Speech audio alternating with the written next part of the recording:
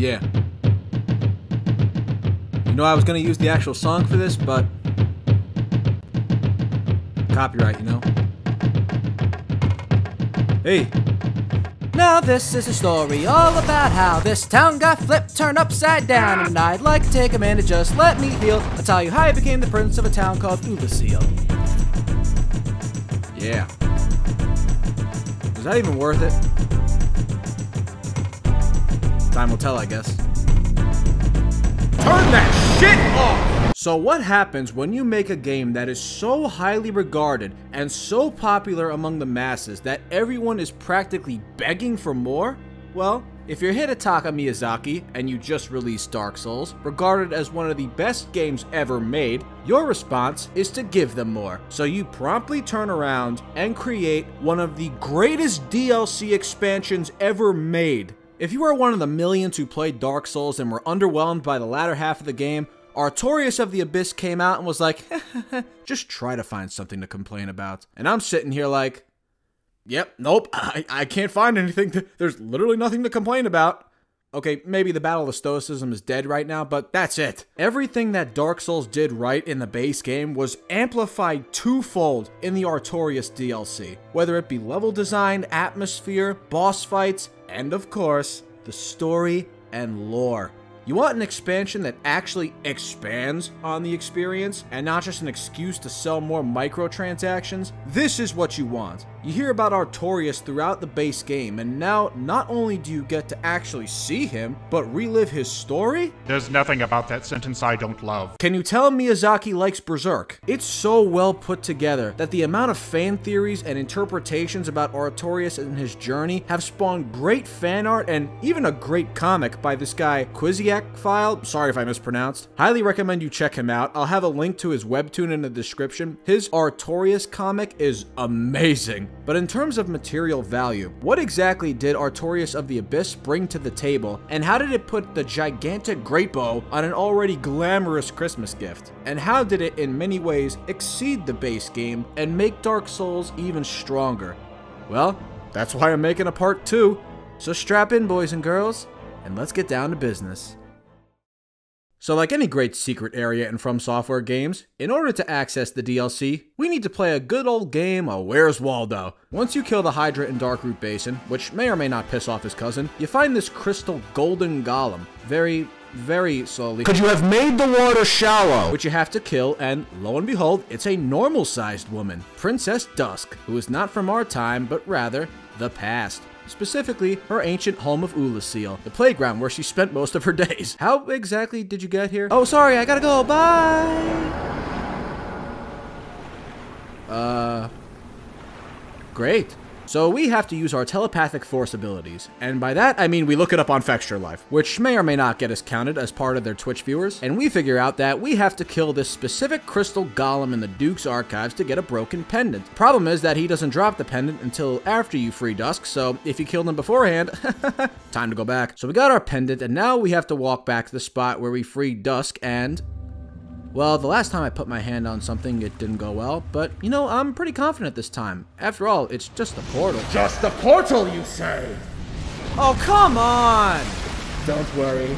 You'll float down here, Zini. Welcome to the past. Welcome to Oolacile. Welcome to Artorias of the Abyss. Here's a boss!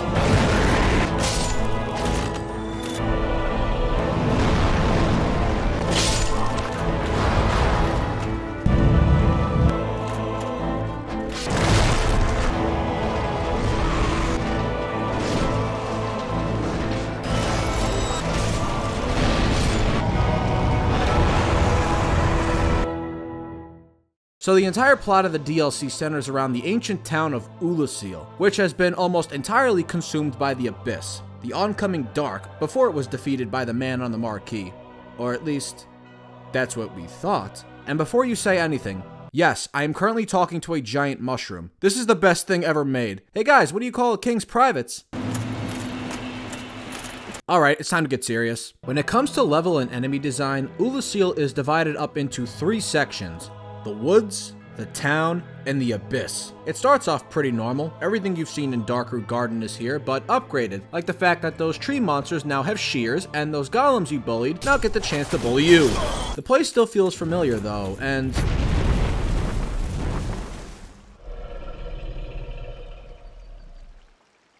This will never not be cool. Say hello to Kalameet, who we'll be seeing a lot more of later. This guy's an alpha. The fact that he just swoops in, doesn't attack you, just gives you this look like, you're in my house now, boy. That's Miyazaki. He's a master at subtle storytelling. Once you get to the town, though, you want to talk about the horrors of the Abyss? In New Londo Ruins, it was just a literal ghost town with dark wraiths at the bottom. Oolacile shows the actual effects of the Abyss in that it creates deranged monsters. Worst of all, these aren't like the dark wraiths, which are pretty much spawn of the Abyss.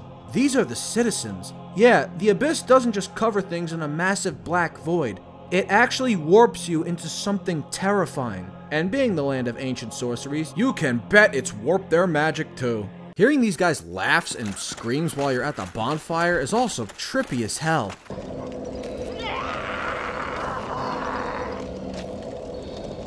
Oolacile gave more stakes to the conflict with the Abyss because this town is not even fully in the Abyss and the citizens were still morphed into lickers. That's how powerful it is.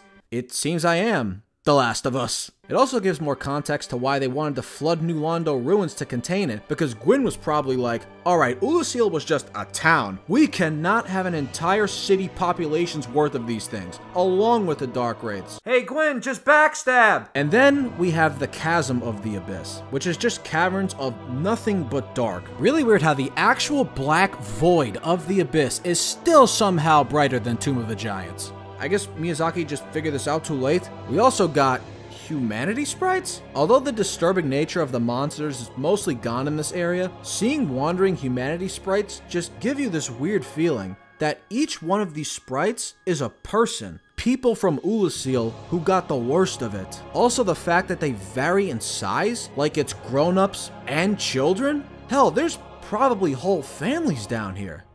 Well, sorry guys, I have to reverse my hollowing. The storytelling of all these three areas of Oolacile, combined with the interesting take on the enemies, is something that makes Artorias of the Abyss memorable, despite the fact that the first third is just reused assets. But we know what makes the DLC truly memorable. The same thing that makes any other Souls game memorable.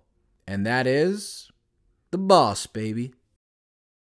So it turns out that when making a DLC, you have more time and less pressure on you to meet a release date, leaving you unlimited leeway and creative freedom. And it also turns out that when you have less bosses to focus on, you could spend more time fine-tuning them and making the fights better. So Artorias of the Abyss had both. And as a result, all four DLC bosses are not just good, you want to talk bosses with cool looking moves that are fine tuned and perfectly balanced, for the most part? Look no further than these boys. They also turned up the speed too, so less waiting and more dodging, which after playing through the base game is a pretty steep adjustment for new players. Perfect example of this is none other than the literal gatekeeper boss, the Sanctuary Guardian. The first thing you see when you arrive in Oolacile. This guy's attacks come out extremely fast, but to counteract this, his health is very small. I'm gonna be honest, out of six playthroughs, I may have died once to this guy, but hey, that just means I'm good. And this fight is still a rush despite the low health. This guy doesn't get as much attention because of the other three in this lineup, but damn it, this man deserves your respect. Actually, I don't even know if it's a man. But the reason he's not talked about as much is that he's directly followed by, well, the man on the marquee.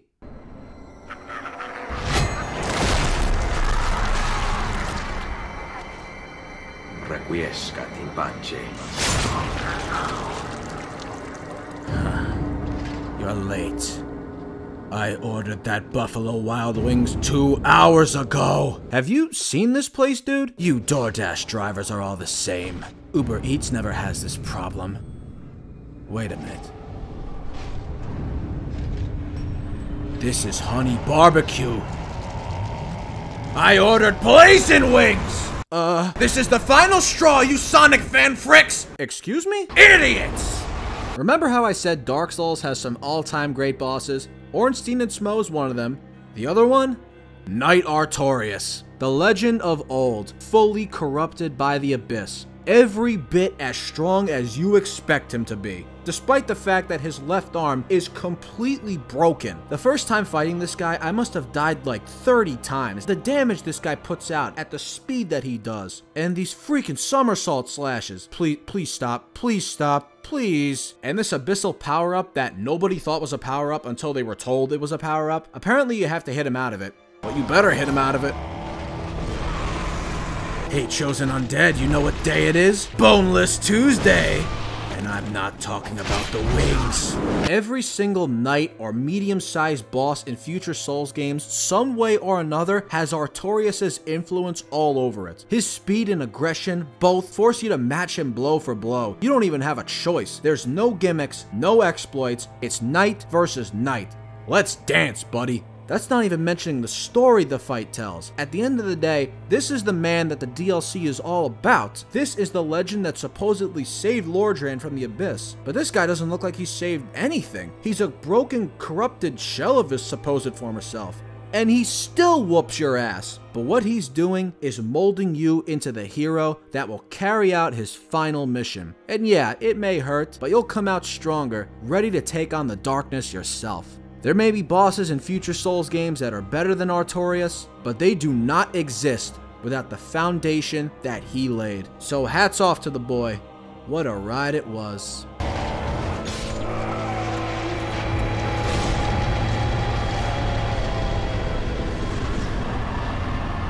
Wait, he's only the second boss? So after the battle, you meet Hawkeye Gough, the blind giant archer, another one of the four knights of Gwyn, who's been here so long, his body is actually collecting dust. You talk with him a while and get more context to the overall world, and he's a fun conversation. Now, you might be asking, why am I talking about an NPC in my boss section?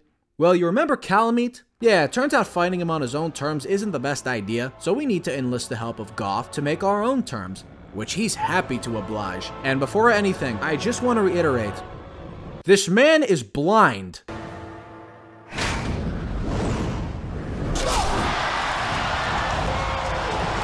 Let's go home! Let's go home, ladies and gentlemen! What's your excuse? So now we can fight the first real dragon boss of Dark Souls, and Holy shit, this is awesome! I'm fighting an actual dragon and his moveset is not terrible. All of his attacks are fair and telegraphed for his size, and you better memorize his attack patterns or else he can catch you with some fire or a nice little tail strike. Also, he's got this.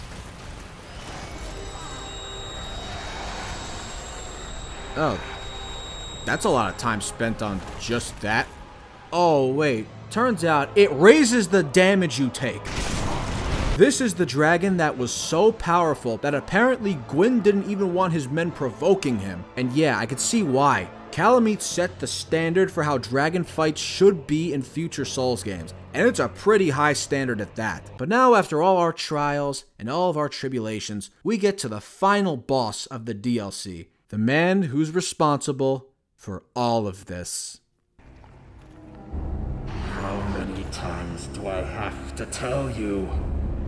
Don't make noise while I'm feeding the cats! What? My bulls get no respect around here.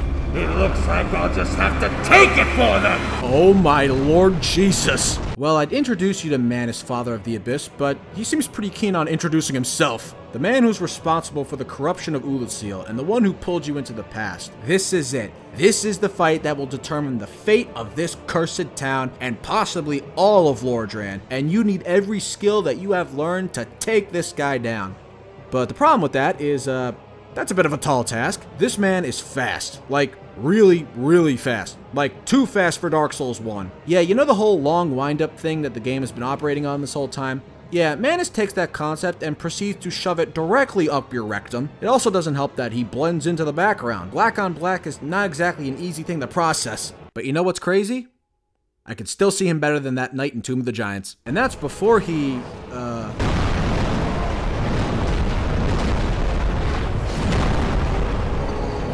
Like I said earlier, I've beaten Dark Souls a total of six times, and I still don't know how to avoid this. I, I, guess you just run away as soon as he presents himself? Even then, you're still gonna get caught up somewhat in the combo, and you better heal quick because... Oh, and did you not notice the staff in his hand? yeah, this man's also a sorcerer. Because of course he is. The giant arm wasn't enough for him. The man chose to spend time with Quagmire and go to Hogwarts, which doesn't exactly bode well for us. Manus caps off a boss lineup that is equally as challenging as it is fun, and every single fight is a pure adrenaline rush, one that mostly puts the base game to shame. That alone is enough to make you want to play the Artorias DLC. But, aside from that, the main allure is of course the story of the man himself. Yep, here comes the heartbreak. This DLC is of course all about Artorias the Abyss Walker, if you couldn't tell already, and his legendary quest to quell the coming surge of the Abyss. But as you progress through Oolacile, things start to come into focus, and on top of that, it does a great job expanding on the overall lore outside of just Artorias. But focusing for now on the man himself. Throughout the base game, mostly in Darkroot Garden and New Londo Ruins, Artorias is spoken about as this legend who defeated the Abyss. Darkroot Garden is essentially dedicated to protecting his grave, which you need a seal to actually enter. So yeah, this dude is pretty important. You also learned how he was able to actually traverse the Abyss to battle the Dark Wraiths, earning him the title the Abyss Walker. So naturally, when embarking on this journey, we're gonna get the chance to potentially see the man in action, maybe give him some help. Not to mention his design is so badass, so you're pumped as hell to meet him. However, that veil is soon lifted when you stumble upon him in the Colosseum, this laboring, slow, tired looking knight whose arm is completely broken. And not only that, he's corrupted by the darkness. This doesn't look like the hero of legend at all, at least not in this state. The fact that he's the second boss in the DLC tells you everything you need to know. You have a full second half left in this place, and you killed the title character already. Because of this, you slowly begin to realize Artorias didn't save anything. That legend? It was all a lie. He didn't defeat the Abyss. The Abyss defeated him. Gee, I wonder what attack it used. But wait, if he didn't defeat the Abyss, who did? Oh. Never meet your heroes, kids. You might end up being forced to do their homework. It becomes clear that this isn't Artorias' story. This is your story. You have to complete Artorias' mission and save Oolacile, and with it, Lordran. This is also where you meet the last two Knights of Gwyn, Ciaran and Gough, with Gough not only thanking you for saving Artorias from his pain, but when you actually start talking with him, and what a gentle giant he is. Do not mistake my words. I cherish my work. Wood carving is a nuanced art. I would have much to talk about with that blacksmith. In truth, how is the old chap, I wonder? Still hammering away, I should hope. Eventually, it leads to him shooting down Kalameet for you, and while speaking on the dragons, he actually provides more interesting context behind the war with the dragons. The opening cutscene made it look like the dragons were completely overwhelmed and no match at all for the dwellers below, but Gough tells how it's much more complex than that, and that it was more of a war of attrition, saying that for every dragon they killed, three score of their own were killed. Exhilaration, pride, hatred, rage. The dragons teased out our dearest emotions. Thou will understand one day. It certainly paints a much different picture than the montage of destruction that the four figures brought in the opening, and one that adds some backstory that you didn't know you needed, but more than happy that you got. But enough talk. We have a mission to carry out. We make our way down to the abyss, trudge through the darkness, and. Huh? Alvina? Huh? Oh, you want me to follow you? There's something about this wall. Wait. Sif? Yes, indeed. Artorias did in fact travel here with his trusty companion, but when he became overwhelmed by the Abyss and Sif couldn't escape, in his last act of sanity, he sacrificed his shield to protect his friend from the sprites of the Abyss, which you come along and save him from, which leads to him being able to be summoned for the Manus fight. And so you save Oolacile, but Elizabeth tells you that because you come from the future, you cannot get the credit. So Artorias has to be the one who saved the Abyss, but she alone will remember you. That's okay, Elizabeth. I got bigger ambitions. So the DLC is completed. We saved Oolacile, but we're not done yet. Because I mentioned Heartbreak. The true gut punch comes after. When you go to retrieve the Covenant of Artorias Ring in order to fight the Four Kings, which is guarded by none other than Sif. Which if you completed the DLC before coming here, rather than immediately preparing for battle, he actually recognizes you. But it doesn't matter. In his eyes, you've become a grave robber. Worse yet, the grave of his best friend and master. No, Sif, please, I have a reason. Come on, we don't need to fight. Please, Sif, no! No!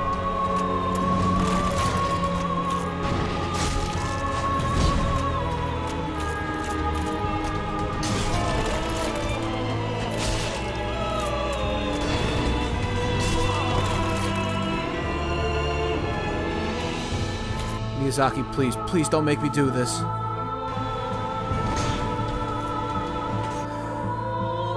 I'm sorry, Sif.